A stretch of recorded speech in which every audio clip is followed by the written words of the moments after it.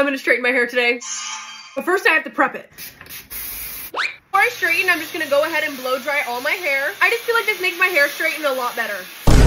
We will be fixing this immediately. This is my hair blow dried straight. Now I'm gonna go in with the straightener and really make it flat. You actually can't really see the patchiness when it's all out. Ooh, I'm excited. I don't have my straightener on a high heat setting because I'm trying to avoid as much heat damage as possible. Say that as my hair is literally steaming. Oh my gosh, it's actually looking so good. My sister me it's better to go slow on each section instead of going through it so many times, so that's what I'm doing. When I was younger and I'd let my mom straighten my hair, I was always so scared about her burning my roots. That's probably because she did burn me a few times. Last piece.